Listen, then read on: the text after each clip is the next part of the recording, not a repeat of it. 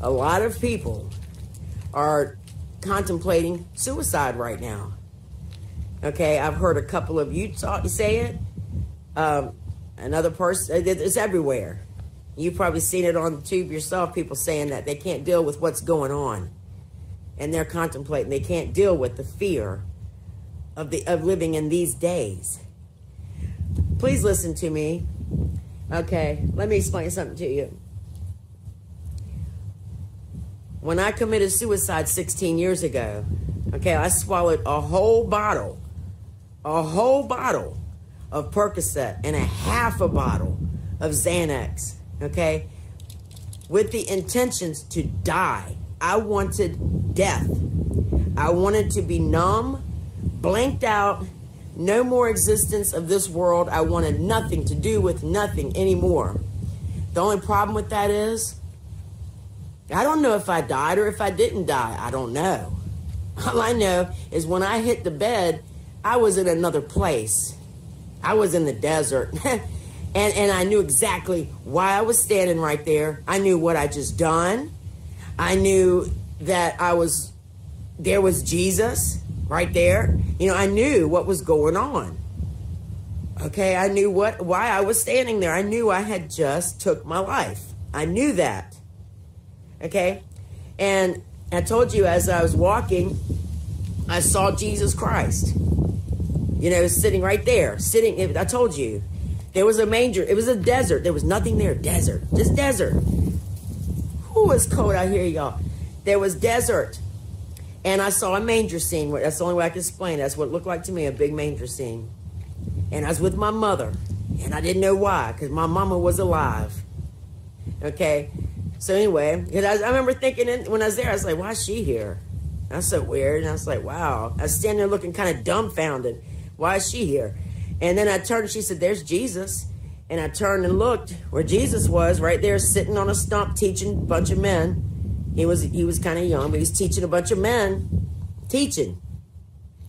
And I go on up, me and her walk up to the picket fence that's in front of the manger, take a left, walk up, go up to the end. Say, for instance, right, this is the end. To the end of the fence, stop. I felt a prayer. I turn around look. There's Jesus, full grown man right there standing on the other side of that fence. I back up.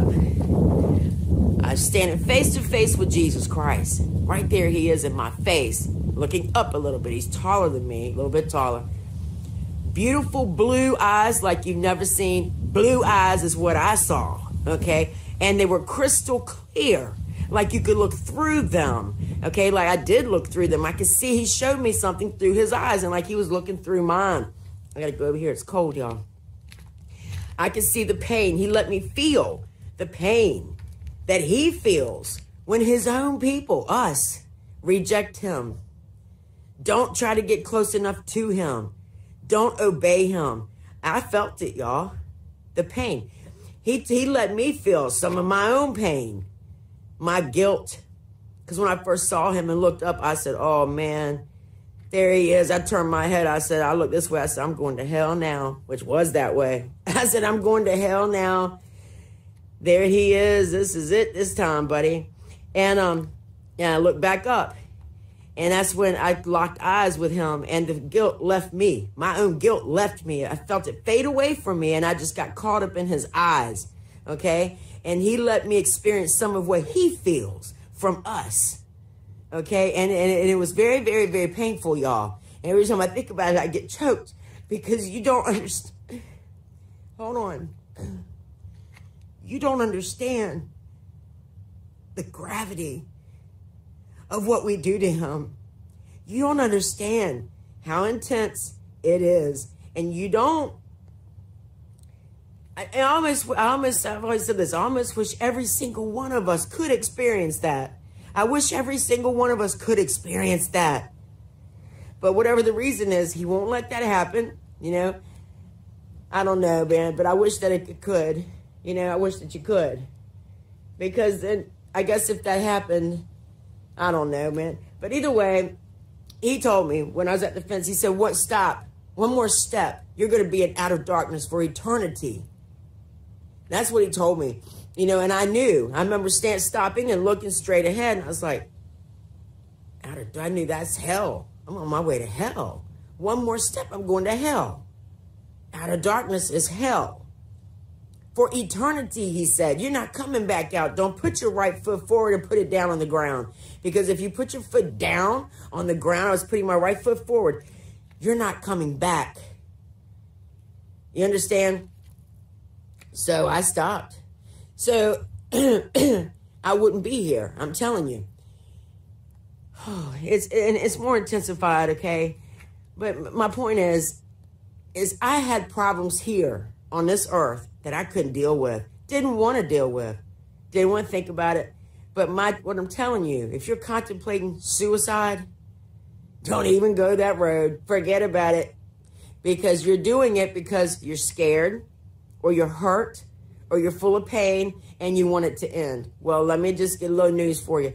When you do step out of your body into the other side, you still got pain. You still know everything going on. You still got the feelings of you had when you left here. You know everything. You know why you're there. You you still got all that with you. The only thing you left behind was your skin. That's it. Now you got to take all that pain that you still have on the other side. You still when you step out when you kill yourself, when you step out of your body, okay, into the other side you know why you're there. You still remember everything that happened to you. All the pain, all the hurt is still there with you. You've got your mind, okay? You got your feelings, okay? And so you take all that that you just tried to kill yourself for. Now take that with you into eternity. Okay, now you got to take deal with all that plus knowing that you're getting ready to go into hell on top of it. So it doesn't fix anything. It doesn't take, when you kill yourself, it doesn't fix a thing. It doesn't take your problems away. It doesn't make anything any better. It doesn't make anything stop. You understand? So what I'm telling you from somebody who did it, scratch that off your plate. And not everybody that kills themselves gets a chance like I got. I don't know why. God didn't tell me why some do, some don't. I don't know why. All I know is I did. Okay. And he showed me why. It took 15, uh, 16 years to show me why my mama was there and why I saw him teaching. I remember when that happened. I was like, I knew I just killed myself. I was like, why is my mother here? She was alive. I'm like, what's she doing here? and then I looked over there and said, what's he teaching people for? What I remember saying, what has this got to do with me just killing myself? What does this got to do with anything? Then I go on up into walking up to the fence, taking a left, going to the end of the white picket fence, and there's Jesus as man telling me to stop. One more step, you'll be in outer darkness. There he is. I turn and look. Now I knew exactly what was going on here. And I'm like, okay, yeah, this relates better to what I just did right here. But what does that first scene over there mean? Well, I went 16 years not understanding what the first scene meant. I understood what the second scene meant, but now I know. Because I never understood for 16 years, why did Jesus let me see my mama there? She didn't kill herself, she was alive. And what did me seeing him teach have to do with anything that I just did? Never understood it, y'all. That's why I told you, you won't get revelation from God sometimes about things that he show you. He'll show you stuff in a dream, a vision, whatever. And you won't get revelation until you are 100% seeking him with everything you got. Then you'll get revelation. Okay? Took me 16 years to get revelation. Why my mama was in my suicide. Um, why was she there after I had just committed suicide? And what's that got to do with Jesus teaching? The second part, I know, I understand exactly what happened, but what the first part never made sense to me. Okay? Well, that's where I understand now. Jesus said, I'm telling you, because I was very close to my mother, y'all. Very close to my mom. I'm her baby. Baby of four, I'm her baby. Okay? He took her to heaven in April. April is when I really got down on my knees. You know, I've been in and out with God my whole life. In and out, in and out. You know, I, I didn't do bad things in the world and stuff. Just, you know, I would cuss a lot. You know, I had, oh man, y'all, I was just in and out with God. Not serious. I wasn't serious. Half and half, okay? Like most people are, half and half. But when he took my mama home, okay, I had a choice to make because I was devastated to me. I couldn't, I'm the one that couldn't handle that. Devastating. So I said, Kim, you got a decision to make. You're going to kill yourself. You already know what's going on the other side with that. But can you live with this? Or just dive back into drugs and alcohol because that kind of uh, hides the pain a little bit. Okay, or and ruin the rest of your life. Or, honey, you got to get into Jesus with everything you got. Well, I chose that road. Get into him with everything you got. And when I stepped into that world, I understand now why I, why she was there because it was during this time Jesus said, I'm going to raise you up to be a great teacher, which is why I saw him teaching in my um in my suicide whatever. That's why I saw him teaching. I didn't never understand why did I see why did I just kill myself? And first thing I see is my mother who's alive and Jesus teaching people. I'm like, what does that have to do with me killing myself? What does it got to do with anything? Now I know. And this is what it is. So he's using this time that he took my mother to heaven to raise me up to a great teacher. And that's exactly what he's doing, y'all. That's what he's doing. And then the rest of it went on. There he was forgiving me for my sins. I, he could stop me from going into hell. There he was forgiving me for my sins and telling me what I need to do. And then I wake up throwing up. I'm going to pop up on my bed, throwing up everywhere, puking my guts up, y'all.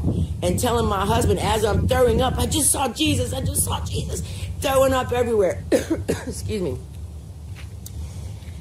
So what I'm telling you, my point to this is, there's more to it. I'm just not. This is all I'm gonna tell you of it. Right. What I'm telling you is, some of you that can't take what's going on in life, can't uh, have a lot of fear about what's happening, what's coming. Suicide ain't the answer. It's not going to help you because you take all that fear and and uh, pain with you you understand? I want you to understand that. The only thing you leave behind is your skin. That's it. And then when you when you kill yourself, the fear on the other side duplicates. Duplicates. And sometimes it's forever. Forever. So suicide is not your way out. It's not your way out at all. It all goes with you. You leave nothing. I mean, yeah, you leave nothing behind. You take it with you. As soon as you step on the other side, you know exactly what's going on. You know exactly. You know everything. Okay?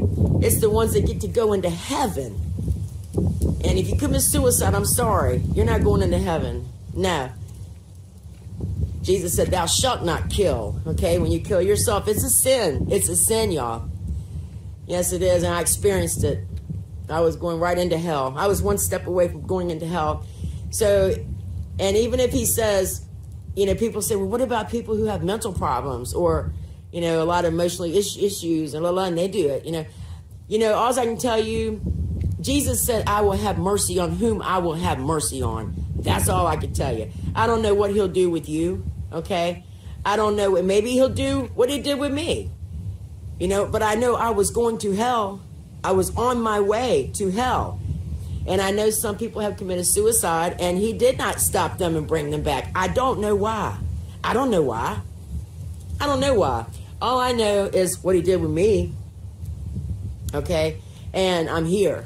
And I know why I'm here. And I know, I tell you what, Jesus told me, give your life to me. Go live for me. He said, explain to the people that they need to live for me. They need to be more than just talkers. They need to be doers. He said they, it's time to get down to the nitty gritty and get serious. Push the people. He said, Kim, you're a pusher. You're a pusher. You're strong. Make them strong. That's why I'm here. Okay? And that's what I'm going to do. I am a pusher. You know, but I'm telling you another thing. I'm driving the demons out there on the internet world wild. Driving them wild. You know, there's somebody else I know that's having demonic attacks in her home. In her home, you all. Now, I'm going to tell you, she said, Can you come over here and pray for my house?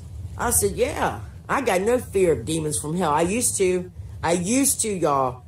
way back before I tried to kill myself, I had fear like you wouldn't believe because I felt them. I felt them. Anyway, there's a long story to that. Years, years, years before that, I was in dabbling witchcraft, long, long time ago. So I had a lot of fear when I left out of that. A lot of fear. But now, who I am in Jesus Christ, another reason you hear the er, er ur urgency in my voice is because they make me sick. Y'all, they make me sick. And I know what they're doing to everybody. I know what they're doing to you guys. Okay? I know. And I know what kind of power you have over them that a lot of people don't use. Well, I'm telling you, use it. Use it.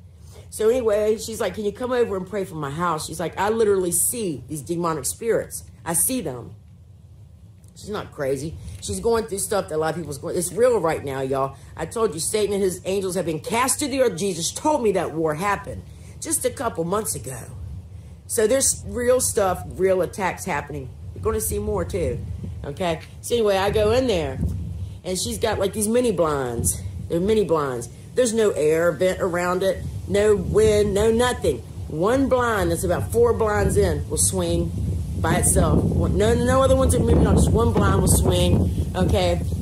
She hears creaking walking around her apartment when she's there. Creaking. She she turn all the lights off, go to bed. Every single light off, and go to bed. She it was loud, loud creaking on the floor that woke her up. She shot up. The lights were on in the hallway. She didn't turn them on. I mean, there's she's having physical attack. They're not physically touching her body. Well, one time they did. They pulled her shirt and snapped it back on her. Anyway, she's having attacks. So I said, okay, I see what's going on here. So I grabbed my Bible, my anointing oil, and myself with the Spirit of God who's in me, the Holy Spirit that's in me, and I take me and my authority over there, and I am boldly, boldly. See, I'm getting loud, y'all. I'm boldly walking in there. I'm like, put, get out of my way. Go in the door. I said, demons, from the pits of hell. You forces of evil, bring yourself to attention right now in the name of Jesus. Bring yourself to attention. I go in forcefully and I and I command them by the blood of Jesus, the conquering blood of Jesus, the victorious blood of Jesus to get out in the name of Jesus. And I'm anointing everything she's got in there, y'all. And I'm just boldly exercising them out with the authority that I've got in me in the name of Jesus. And she was like, they're leaving. She said, I can see them going out the door. They're running. They're running. That's right. That's the power you have to make them run. You make them run, but they'll come on my channel because there's power on my channel here. I've got power of God in me, you guys. And it makes them, they hate me. They skate, they can't stand me. You know, and that's that's that's the way I want it. Because I don't like them either okay? And I run them off. I run them off and I stand up against them, demons, face to face. Come on, bring it on. Bring it on because you won't win. You won't win. And that's what God wants each one of you to do. And you can do it. That's my thing. You can do it. You just got to be raised up and let the power of God build up in you and be you need to be taught the Bible the right way, which is what I'm doing you. You need to be taught God's word. But the thing is, I'm not really teaching you the Bible. What I'm teaching you is how to study God's word the way God showed me to tell you to study it. And then he said, I, I, their Lord God, will teach them. He said, I will bring them revelation of my word. That's what he, that's what he's doing here. Okay.